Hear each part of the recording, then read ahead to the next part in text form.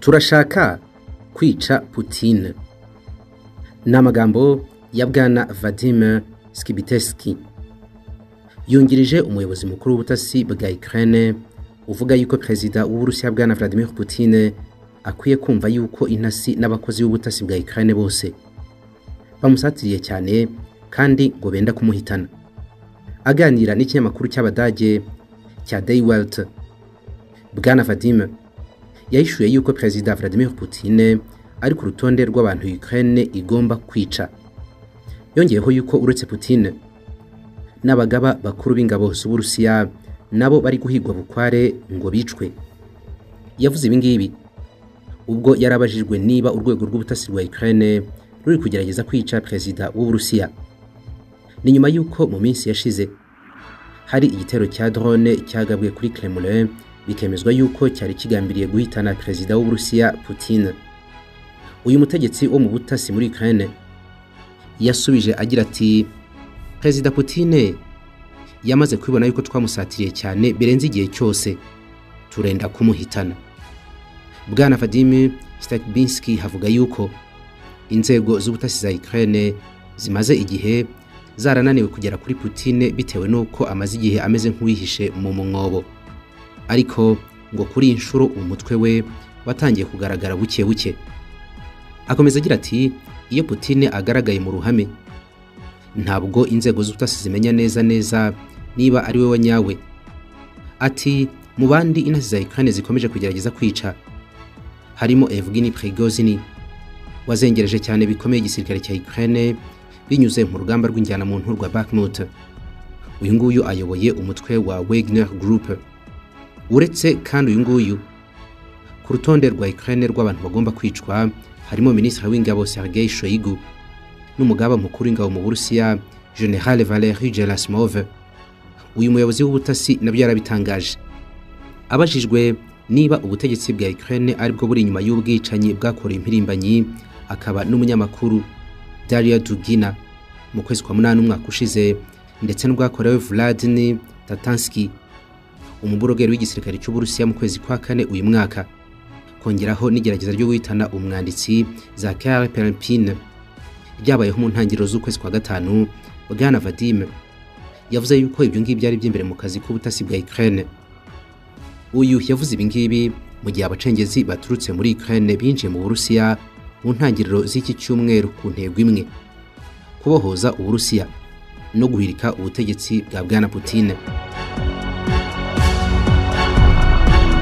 Mubifashijwemo na smart job link gushaka akazi no gushaka abakozi. Byorohejwe. Niba ushaka akazi jya ku rubuga wa eshatu akadomo smart job link akadomo net wuzuzemo seve yawe ubundi witurize. Turagufasha kuyigeza ku bagukeneye. Nawe niba ukeneye umukozi wica mu zindi nzira utakaza umwanya n'amafaranga. Jya ku rubuga wa eshatu akadomo smart job link akadomo net utoranyemo umukozi wujuje ibyo wifuza. Abatanga serivisi n'abazikenera nabo twabashyize igorora. Serivisi iyo ari yose ushaka ujya kuri wa eshatu akadomo smart job link akadomo net urahasanga uyitanga. Namwe kandi mutanga izo serivisi mwihutire kujya kuri uru rubuga mwuzuzemo serivisi mutanga kugira ngo abazishaka batazibura. Ku bindi bisobanuro mwatwandikira kuri whatsapp zeru karindwi icyenda umunani kane gatatu kane zeru zeru karindwi.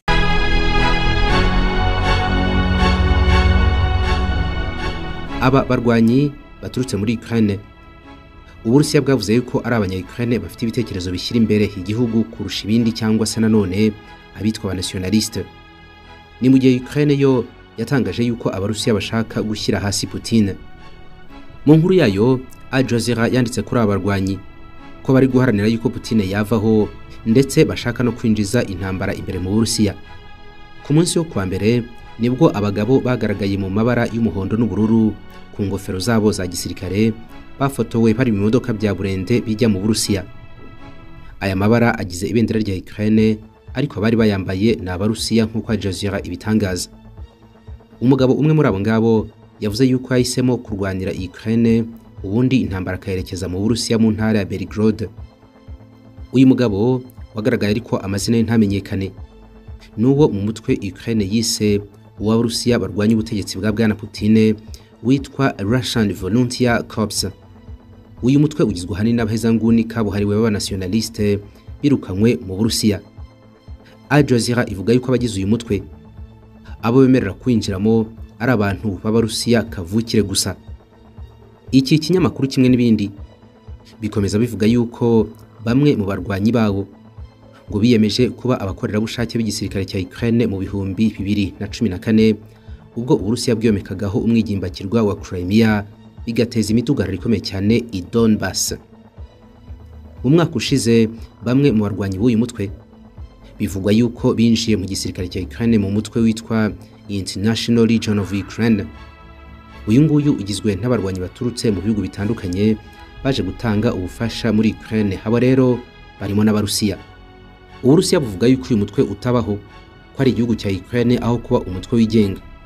Ngo ni ibikoresho by'abanya-Ukraine kimwe n'uburengerazuba bw'isi bakoreshwa mu gushoza ibitero by'iterabwoba ku buryo buziguye naho ubundi ngo ni abasirikare ba Ukraine. Uburusiya kandi buvuga yuko nta barusiya na bamwe bigeze bajya kurwanira Ukraine ahubwo yuko izi ari propagande gusa. Kuri abo bacengezi bagabye ibitero mu Burusiya.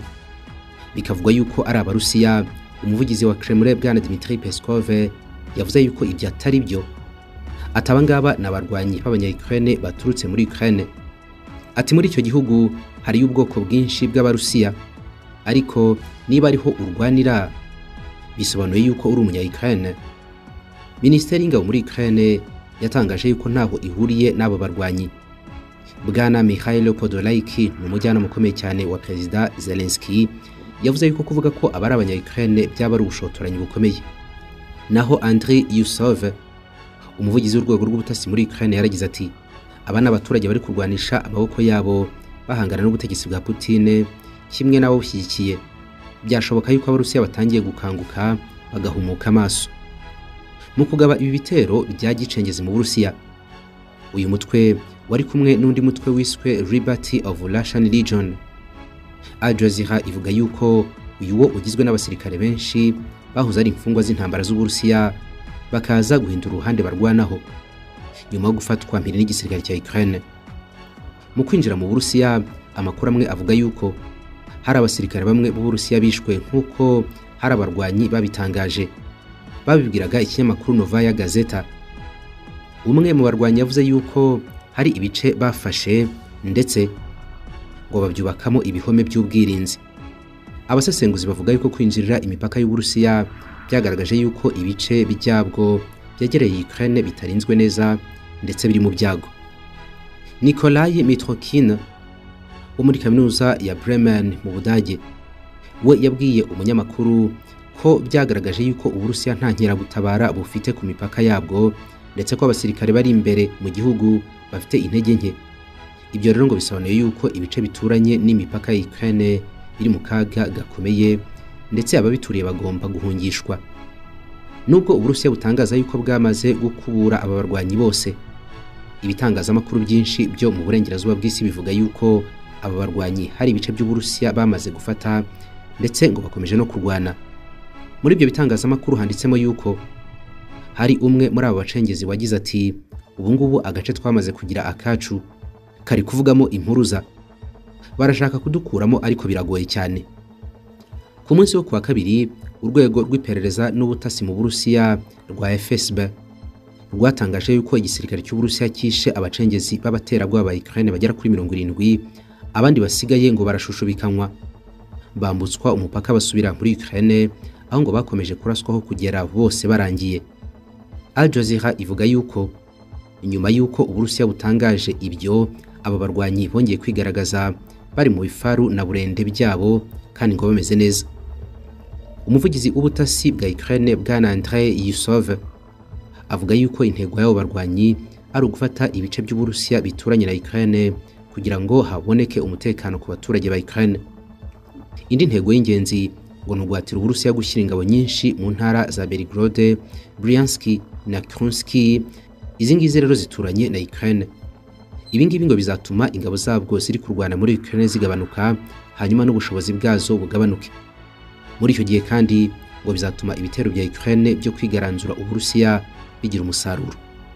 Umusesenguzi w'Kiev bwana Igor tishkevich aganira na al jazeera yaragize ati aka ni akaga ku burusiya kuba bwagabanura umubare w'ingabo ziri ku mirongo y'urugamba.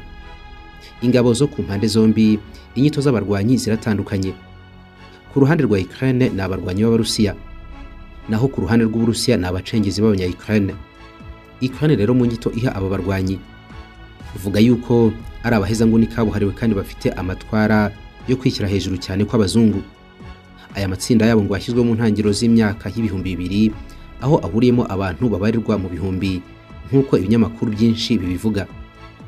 Abangaba kandi ngo ni abagizi ba nabi aho ngo bakunze kwibasira bikomeye cyane ibihumbi n'ibihumbi by'abimukira baturutse muri aziya yo hagati cyangwa se nanone mu bice bya kokaze uretse ibyo ngo banafite umugambi wo kubirindura guverinoma ya perezida vladimir putin ubundi bagashyiraho ubutegetsi bw'abanazi bashya mu cyitwa fourth reich.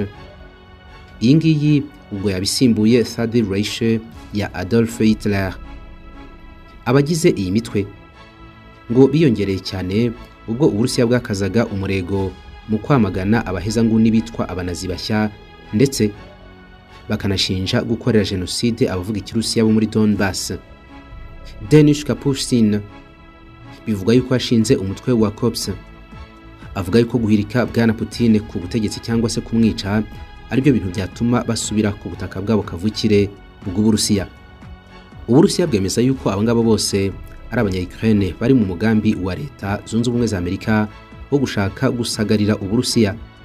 Ariko noneho by'umwihariko ngo boherejwe mu burusiya mu rwego rwo kwibagiza abantu iby'urugamba karundura ruherutse muri Bakhmut uburusiya buherutse gutsinda kandi Ukraine yararushoyemo akayabo ingabo zitagira uko zingana n'intwaro nyinshi kimwe n'amafaranga byo mu burengerazuba bw'isi.